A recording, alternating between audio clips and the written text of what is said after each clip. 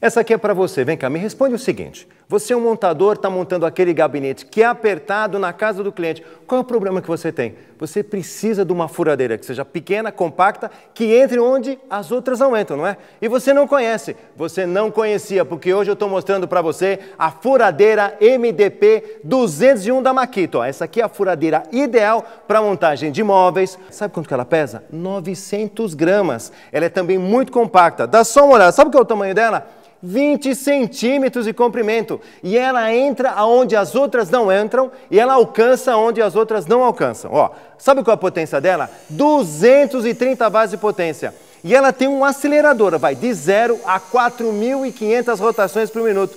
E ela utiliza um mandril pequeno, de um quarto. Compacta, leve, velocidade variável, rotação reversível, dupla isolação, acompanha a chave de mandril e ó, marca Maquita você conhece e a garantia é de um ano. Furadeira MDP 201 da Maquita, amigo, deixa de ficar perdendo tempo ali com a furadeira grande, passa na Léo, não perca essa oportunidade.